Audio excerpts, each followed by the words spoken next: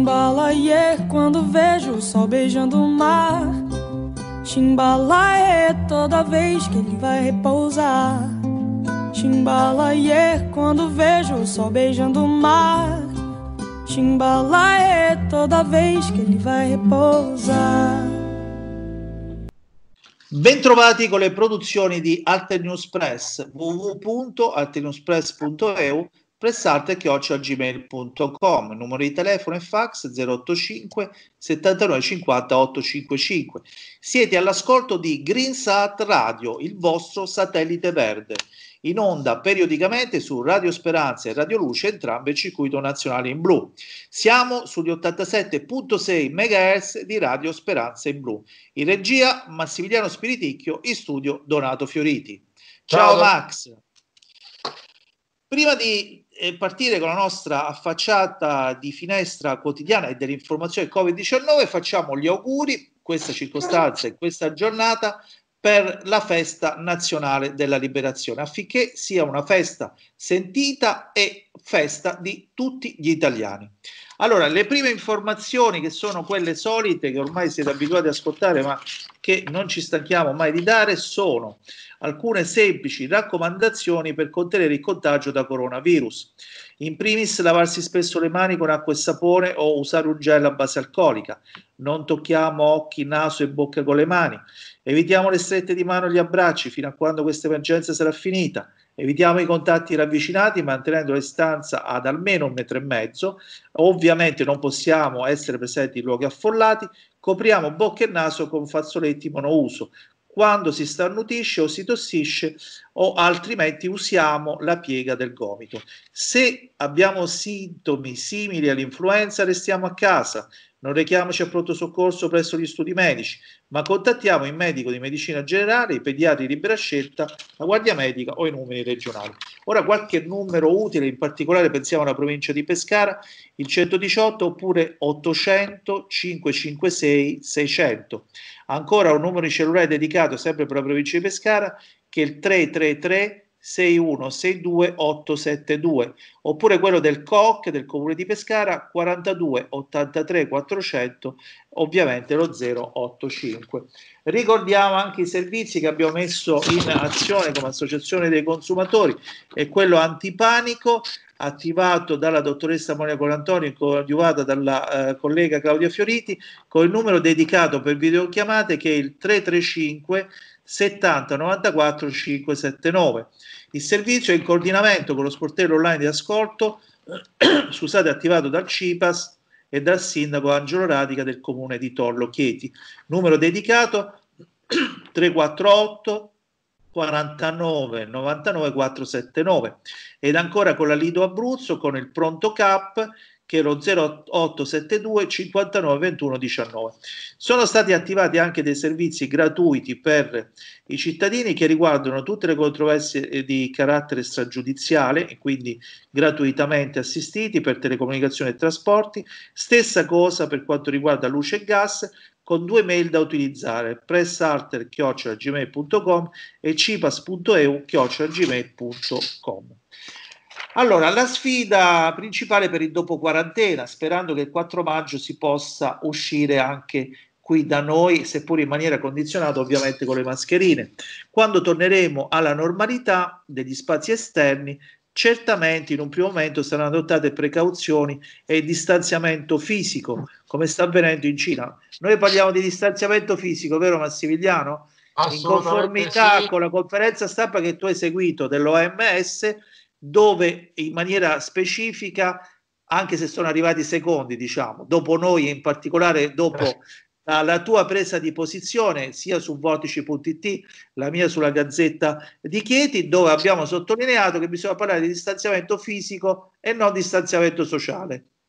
Assolutamente sì, e c'è stata il 20 marzo scorso, quindi ormai parliamo di più di un mese fa, una quella che di fatto è una raccomandazione ufficiale da parte della dottoressa Van Kerkove, che è l'epidemiologa eh, responsabile tecnico dell'OMS, la quale ha detto che la stessa Organizzazione Mondiale della Sanità sta cambiando termine, quindi non parla più di distanziamento sociale ma di distanziamento fisico, sottolineando la necessità invece di rimanere connessi perché ci possono essere, tu prima richiamavi il servizio antipanico, ci possono essere problemi eh, psicologici. Gli psicologi stanno documentando purtroppo la crescita di fenomeni come la depressione, come problemi anche di salute mentale che possono essere anche eh, certamente, certamente Max, e proprio per questo è partita anche la nostra eh, missiva congiunta, mia e tua, per conto dei giornalisti specializzati all'FRSA per Unaga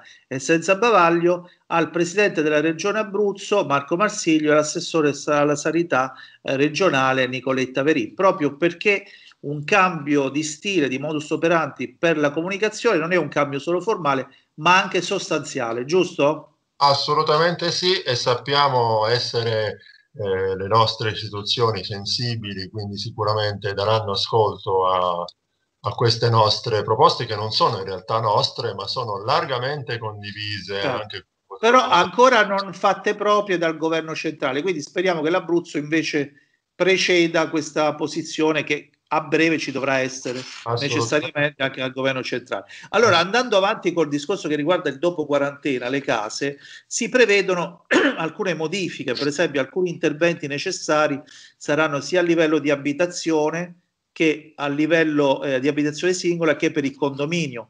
Quindi impianti tecnologici, comfort, risparmio energetico, sicurezza, salute, flessibilità negli spazi e per lo svolgimento di diverse funzioni, tutte cose da considerare.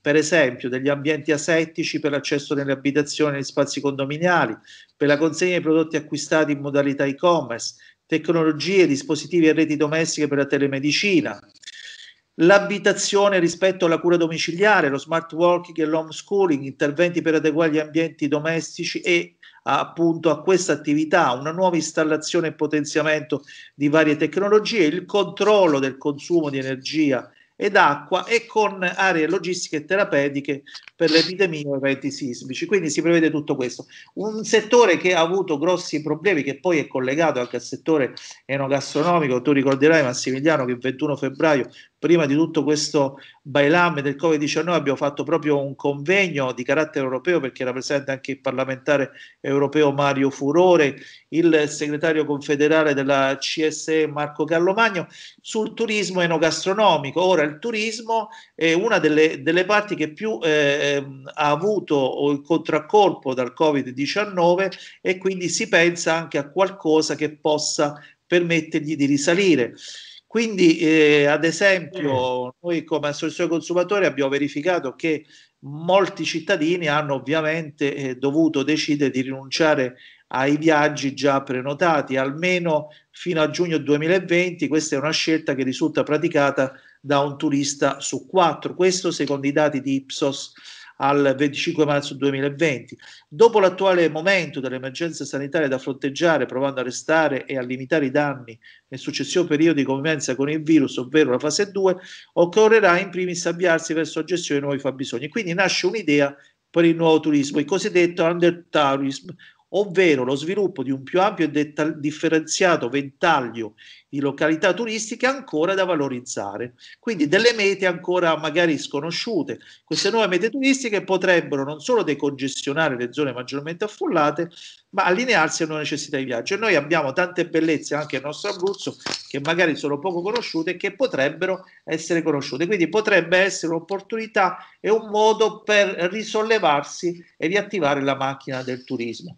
Massimiliano, se sei d'accordo, prima sì, Donato, una cosa rapidissima, sì, notizia sì. proprio di queste ore. C'è un'ordinanza del Presidente Marsilio che sì. consente eh, la prenotazione con, eh, eh, di prodotti enogastronomici, quindi si può andare nelle, nelle, nelle, nei ristoranti che fanno enogastronomia, way, esatto, ovviamente eh, sono disponibili.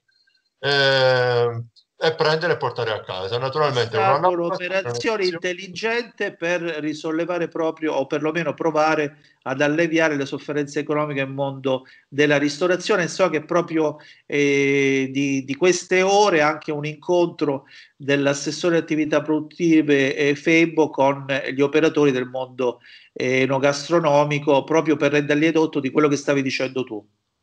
Ecco, allora, visto che il 25 aprile, come ricordavi tu all'inizio, è la festa di tutti gli italiani, senza, come dire, distinzioni, beh, oggi ascoltiamo un inno nazionale cantato e suonato dagli italiani stessi, dalle proprie case, un gruppo Bellissimo. di italiani che ha fatto questo regalo. La scelta più felice lo potevi fare.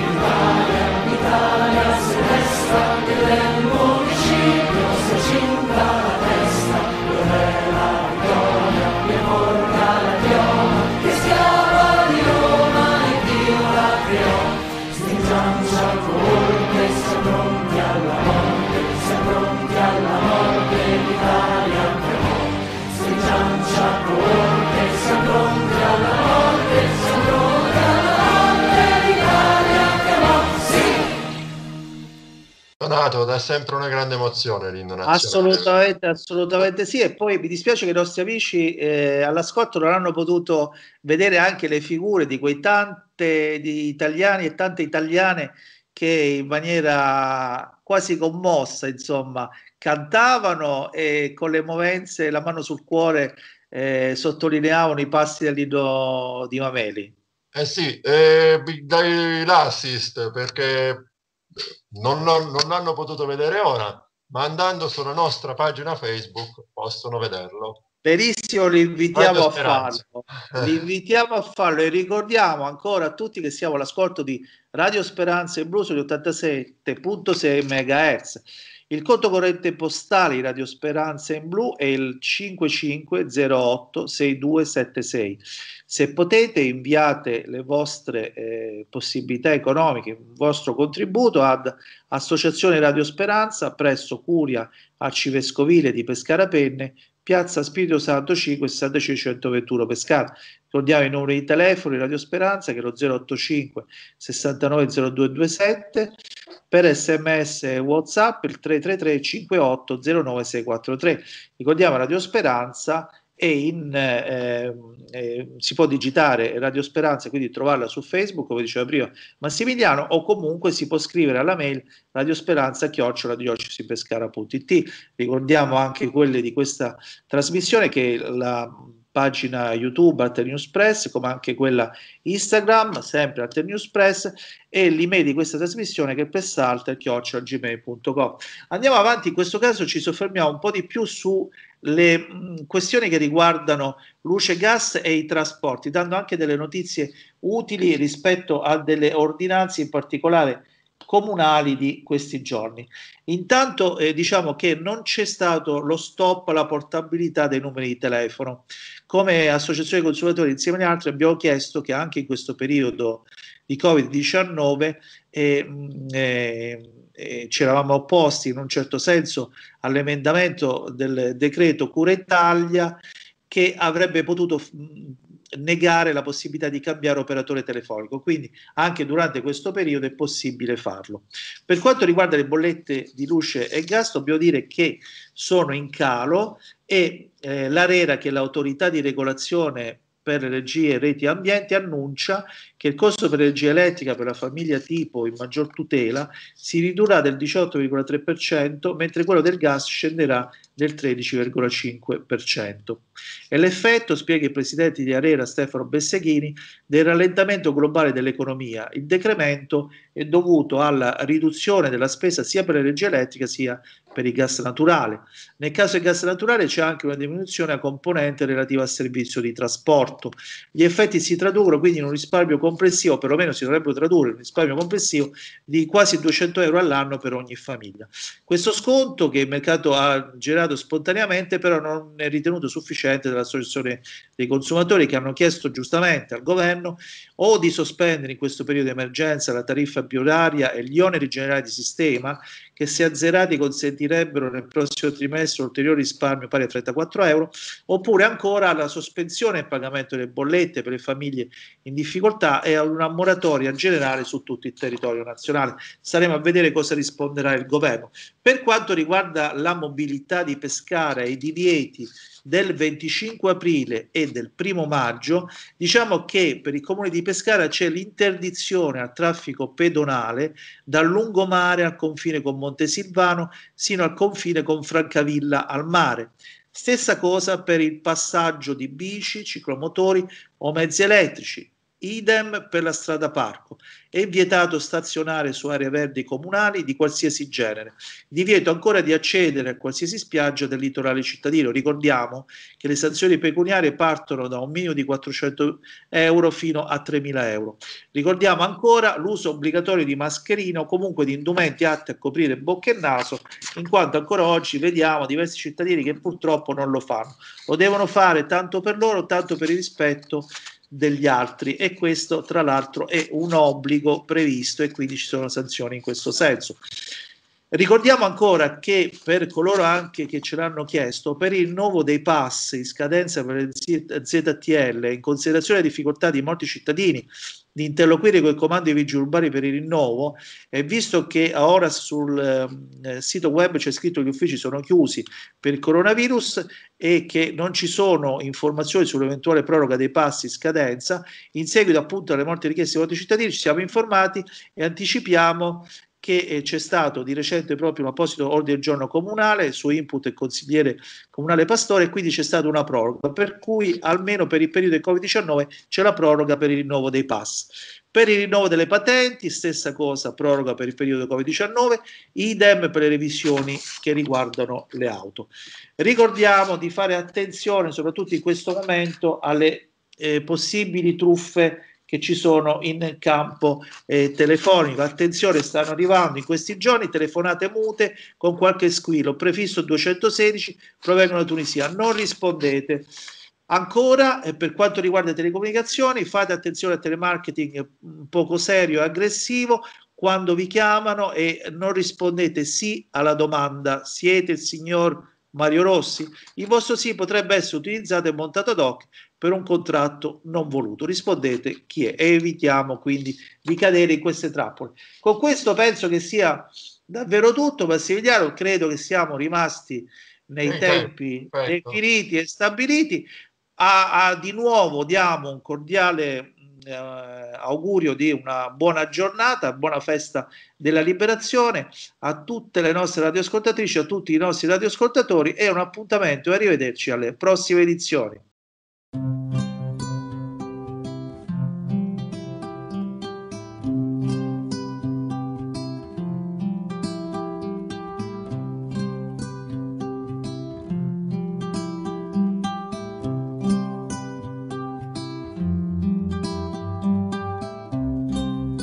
Chimbalaie quando vejo o sol beijando o mar. Chimbalaie toda vez que ele vai repousar. Chimbalaie quando vejo o sol beijando o mar. Chimbalaie toda vez que ele vai repousar.